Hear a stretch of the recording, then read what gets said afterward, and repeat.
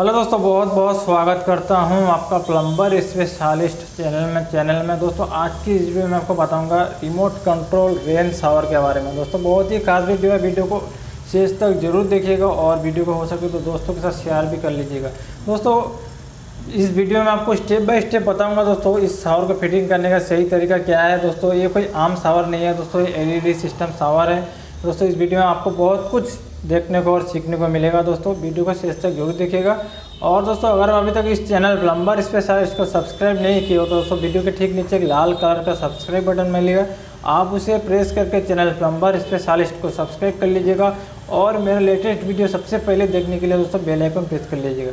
तो दोस्तों, चलिए शुरू करते हैं आज के ये दोस्तों, यहाँ पे आप देख सकते हो सावर का बॉक्स है। इसमें इसके अंदर दोस्तों सावर है। सबसे पहले इसमें फैसिलिटीज़ आप देख लीजिए दोस्तों रेन जो है छः सौ इंटू चार सौ बहत्तर एम एम का इसका साइज़ है दोस्तों। यहाँ पे आप देख सकते हो, ये क्रोम फिनिश स्टेनलेस स्टील का ये सावर है। दोस्तों, तीन फ़ंक्शन में आता है, आप देख सकते हो रेन इंटेंस और टू एक्स वाटरफॉल दोस्तों, सबसे पहले इसे मैं अनबॉक्सिंग कर लूँगा और आपको अभी इसे इसे मैं आपको पूरा डिटेल में आपको फिट करके बताऊँगा दोस्तों। तो वीडियो के एंड तक ज़रूर बने रहिए दोस्तों।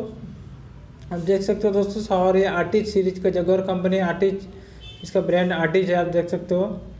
यहाँ सबसे पहले दोस्तों जो सावर है इस सावर के साथ में एक फ्रेम आता है स्टील स्टेनलेस स्टील का, आप देख सकते हो दोस्तों। उसे सीलिंग का लेवल में दोस्तों बुलेट और सलिया से आप यहाँ पे आप देख सकते हो दोस्तों, पूरा सीलिंग के लेवल में इसको लगाना पड़ता है, इस फ्रेम को, इस सावर को लगाने के लिए सबसे पहले इसे फ्रेम में फ्रेम को। दोस्तों सीलिंग का लेवल में लगाना पड़ता है। उसके बाद में दोस्तों इस सावर को लगेगा। अब देख सकते हो, मैं फ्रेम लगा चुका हूँ साथ में इधर तीन पॉइंट है दोस्तों। दोस्तों, सबसे पहले आप देख सकते हो दोस्तों सावर मैं इसे खोल लेता हूँ अनबॉक्सिंग कर लेता हूँ।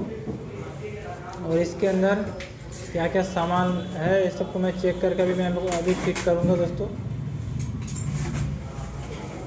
दोस्तों, इस सावर को लगाने के लिए सबसे पहले मैंने अभी दिखाया था इसको इसे फ्रेम फिट करना पड़ता है। सीलिंग में एंकर पाँच बुलेट नाट से इसे फंसाना पड़ता है इसे ये सावर है दोस्तों एलेंकी से फ्रेम के अंदर एलेंकी से बैठ जाएगा। अभी मैं आपको दोस्तों डिटेल में बताऊँगा दोस्तों वीडियो को एंड तक ज़रूर बने रहिए। दोस्तों यहाँ पे आप देख सकते हो सबसे पहले लाइट का इसमें लाइटिंग का एक एलईडी फ्रेम है। इसके बाद में सब देख सकते हो कनेक्शन पाइप है अंदर।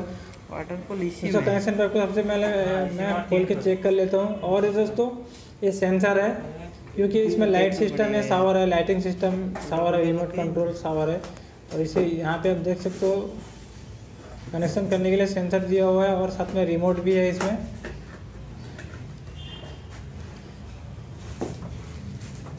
और ये सब आप देख सकते हो दोस्तों। ये नट वगैरह दिया हुआ है, नट, वाइसर और एलिंकी है साथ में। एलिंकी वाइसर नट नट और ये एडेप्टर दिया हुआ है एक वन फोर बाई आधा इंच का दोस्तों, सबसे पहले मैं इसमें चेक कर लेता हूँ कनेक्शन अपना सब वाशर खोल के जो इसमें वाशर है कि नहीं इसके बाद में सबसे पहले अगर नहीं है तो वाशर वाशर ही दिया देखो अभी मैं आपको लगा के बताऊँगा दोस्तों।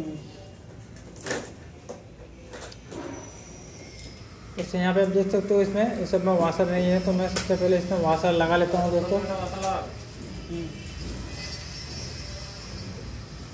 कागज़ के अंदर वाशर नाक पैसा इसमें सब दिया हुआ है जो जो इसमें लगेगा दोस्तों फिट होने के लिए इसमें सब पैकिंग में।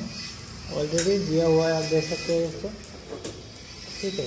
एक एक करके तीनों को सबसे पहले मैं इसमें सही से इसको फिट कर लेता हूँ वाशर देकर, ताकि दोस्तों बाद में इस, ये सावर जो है काफ़ी वेट है। वेट वाला सावर है तो इसीलिए आपको ध्यान में रख के इसको सबसे पहले सबको सही से टाइट कर लेना है, ताकि बाद में लीकेज ना हो। एक नाट को टाइट कर लेना है आपको सही से, ठीक है? ऐसे। दोस्तों वीडियो में बने रही है दोस्तों वीडियो को इसकी मत कीजिएगा। अभी बहुत कुछ इसमें बाकी है। दोस्तों इसे फिट अभी मैं इस, इसे मैं लगा के बताऊँगा साथ में इसका जो पानी है लाइटिंग है सब के बारे में आपको जानकारी दूँगा। तो सबसे पहले यहाँ पे तीनों नाट को मैं लगा लेता हूँ। दोस्तों एडजस्टेबल पाना से आपको इसे टाइट कर लेना है सही से।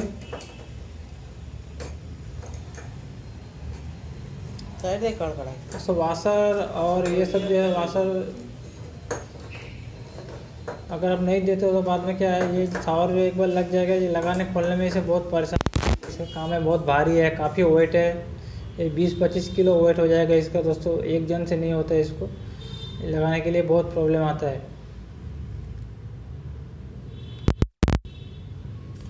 आप पढ़ सकते हो। उससे इसे लगाने के लिए साथ में कंपनी वाले ने जो है इसमें लोकेट सिस्टम दिया हुआ है। अभी मैं आपको बताऊँगा, दोस्तों, सबसे पहले फ्रेम में आपको लोकेट लोकेट जो होता है, उसको लोकेट से आपको हैंग कर झुला देना है, उसके बाद में आप आसानी से जो है पाइप टाइट कर सकते हो फिट कर सकते हो, ठीक है? ये दोस्तों, तीनों कनेक्शन पाइप को मैं यहाँ पे आप देख सकते हो दोस्तों टाइट कर चुका हूँ। दोस्तों, इस सावर को लगाने के आपको बता दूँ, आपको ऊपर लगाने के लिए तीन पॉइंट की ज़रूरत है। जैसे कि पहले मैंने आपको बताया था दोस्तों, तीनों जो आउटलेट में तीन कनेक्शन पाइप टाइट होने वाला है दोस्तों, ठीक है? अब देख सकते हो दोस्तों तीनों में इस, साइड वाशर है और उधर साइड जो है तीनों में वाशर देके फिट कर चुका हूँ वाशर से।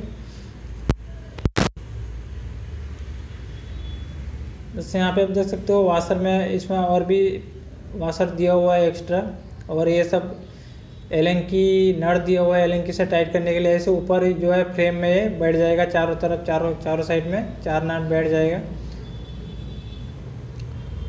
और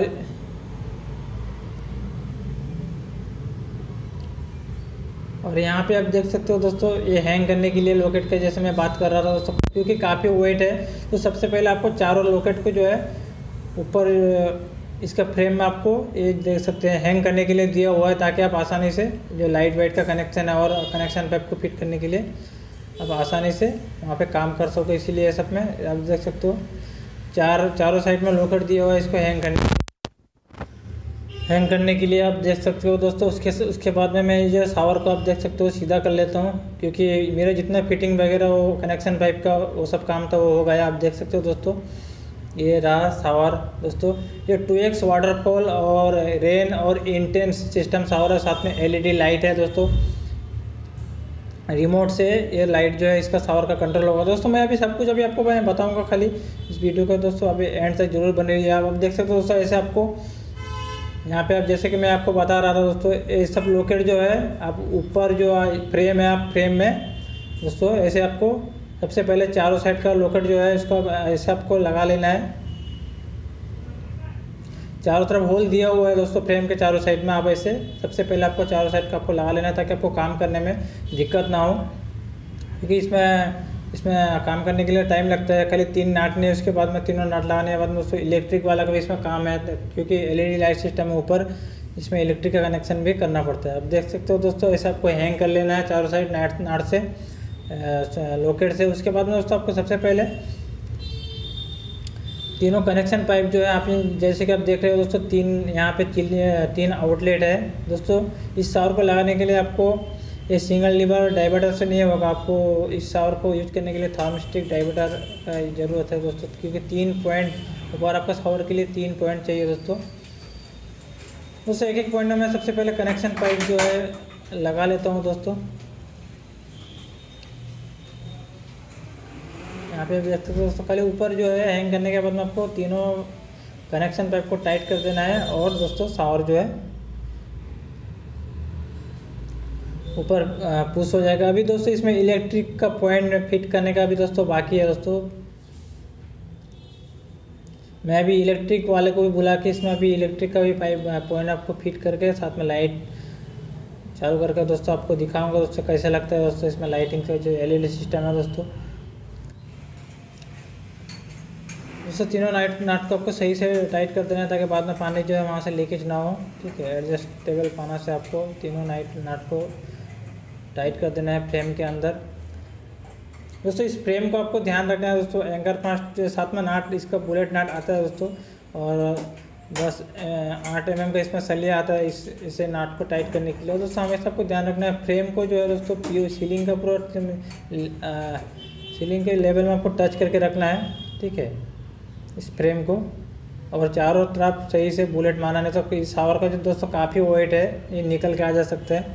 यहाँ पे आप देख सकते हो दोस्तों इलेक्ट्रिक वाला भाई है ये। सबसे पहले लाइटिंग का भी इसमें कनेक्शन करना पड़ेगा इस शावर को पूरा फिट करने के लिए दोस्तों। खाली प्लम्बर से नहीं होता, इसमें साथ में इलेक्ट्रिक वालों को भी रखना पड़ता दोस्तों इलेक्ट्रिक का काम होने के बाद उस समय इस टावर को ऊपर पुश करके एलिंग की सभी में आपको टाइट करके, आपको फिट करके, साथ में लाइट भी चालू करके आपको बताऊँगा। दोस्तों, वीडियो के साथ बन रही है और वीडियो अच्छा लगता है तो दोस्तों, वीडियो को लाइक कीजिए और कमेंट कीजिए और चैनल प्लम्बर स्पेशलिस्ट को अगर वो अभी तक सब्सक्राइब नहीं किया तो दोस्तों सब्सक्राइब ज़रूर करिए तो सब देख सकते हो, इस आपको शावर को ऊपर उठा पुश कर देना है सीलिंग के लेवल में उसके बाद में तो चार नाट इसमें एलिंग की नाट है दोस्तों एलिंग की नाट के ऊपर चारों से आपको टाइट कर देना है। मैं भी आपको बताऊँगा फिट करके।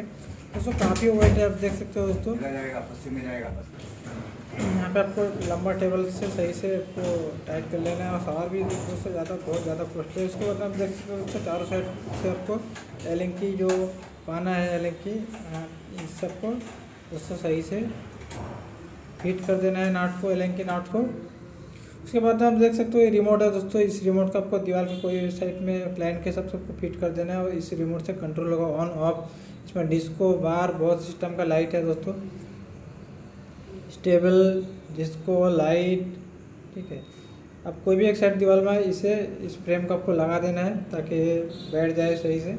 और यहाँ से बटन से प्रेस होके दोस्तों लाइट भी चालू हो जाएगा, साथ में पानी भी चालू होगा लाइट भी चालू होगा। आप देख सकते हो दोस्तों लाइटिंग मैं चालू कर चुका हूँ यहाँ पे आप देख सकते हो बहुत कुछ सिस्टम है इसमें और भी कुछ। दोस्तों इसे मैं बाद में आपको पानी चालू करके बताऊँगा। दोस्तों वीडियो अच्छा लगा तो वीडियो को लाइक कीजिएगा कमेंट कीजिएगा और चैनल प्लम्बर स्पेशलिस्ट को फिर से बोल रहा हूँ, दोस्तों सब्सक्राइब ज़रूर कर लीजिए, कर लीजिएगा इस टाइप के वीडियो देखने के लिए। दोस्तों, मिलते हैं ऐसे किसी अगली वीडियो के साथ। तब तक के लिए गुड बाय